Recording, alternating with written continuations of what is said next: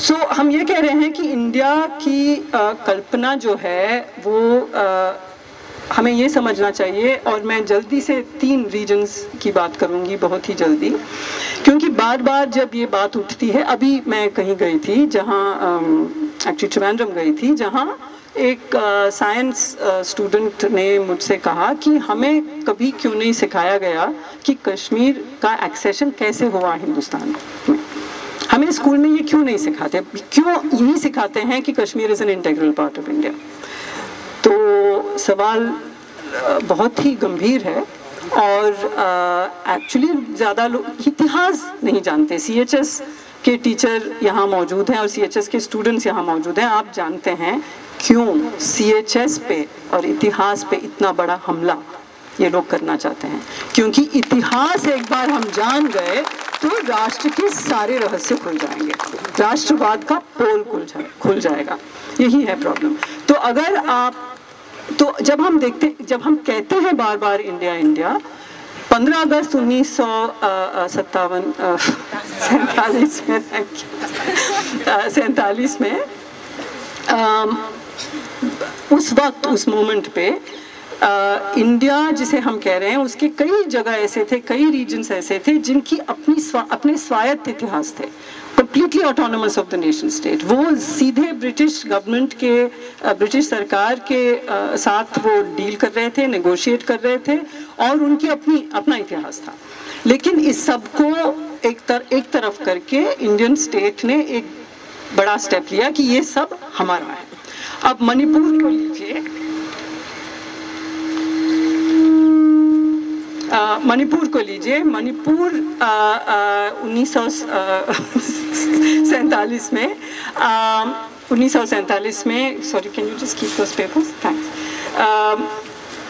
एक independent constitutional monarchy बनाया था। एक संवैधानिक राजशाही उन्होंने इस्टेब्लिश की थी।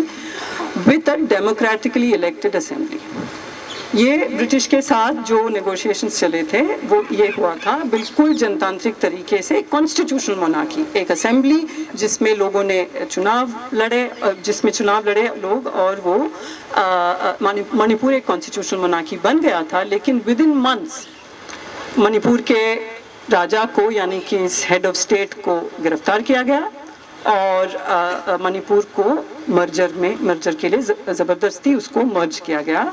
इंडिया के साथ। नागालैंड को देखिए हैदरी अग्रीमेंट था नागा नेशनल काउंसिल और ब्रिटेन ब्रिटिश गवर्नमेंट के बीच में और नागालैंड को 10 साल का प्रोटेक्टेड स्टेटस दिया गया उसके बाद उनको प्लेबिसाइट का हक दिया गया था लेकिन ब्रिटिश के जा, जाते ही इंडियन राष्ट्र राज्य ने नागा टेरिटरी को अपना डिक्लेयर किया और शायद सबसे पहला one of the first acts of the independent Indian government was to actually aerially bomb Nagaland.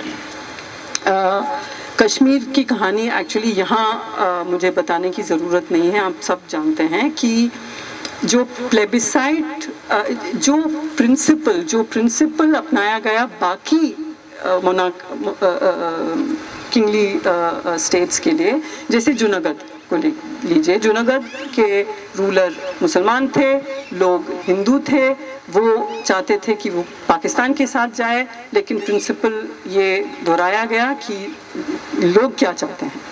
और लोगों ने चाहा, क्योंकि हिंदू मेजोरिटी था, कि हिंदुस्तान के साथ रहेंगे तो जूनागढ़ हिंदुस्तान हिंदुस्तान में आ गया।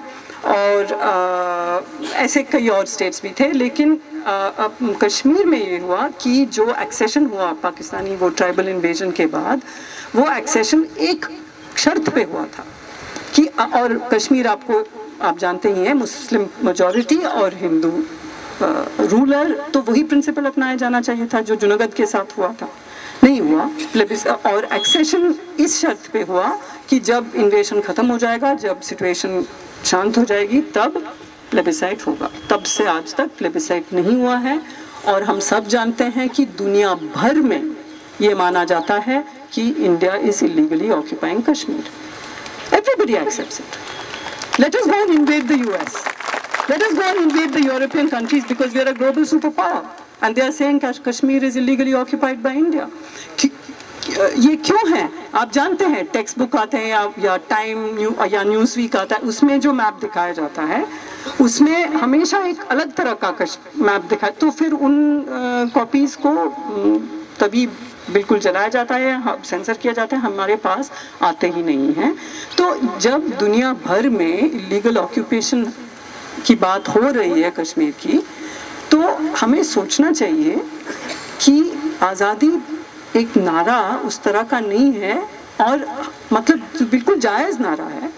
और अगर कोई आज़ादी का नारा उठाता है कश्मीर से तो हम कम से कम ये समझें कि दुनिया में इंडिया को किस तरह समझा जाता है। इट्स एन इम्पीरियलिस्ट इट्स एक बिल्कुल एक साम्राज्यवादी देश की तरह माना जाता है। तो क्या हमें इस पर गर्व होनी चाहिए? गर्व होना चाहिए। आम, तो आ, तो ये तीन और हम जानते हैं कि जो जनतांत्रिक एस्पिरेशंस है लोगों के तरह तरह के मतलब या नॉर्थ ईस्ट में या कश्मीर में हो या छत्तीसगढ़ में हो एक आफ्सपा जो है वो एक बहुत ही महत्वपूर्ण वो एक ब्रह्मास्त्र है जिससे कि इंडियन नेशन स्टेट किसी न किसी तरह ऑर्डर को कायम रखता है। सोशल ऑर्डर को कायम रखता है। It is a daily emergency तो वो एक निरंतर रोज़ाना इमरजेंसी है इन जगहों में जहाँ आफ्सपा है।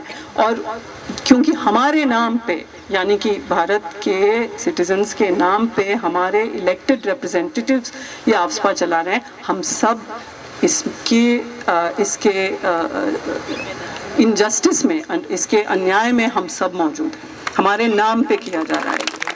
कि something like I don't know thirty forty percent of the country is under military rule जो तो भारत का चेहरा इंडिया या हिंदुस्तान का चेहरा जो कश्मीर देखता है और नॉर्थ ईस्ट देखता है और छत्तीसगढ़ के आदिवासी देखते हैं, वो है इंडियन आर्मी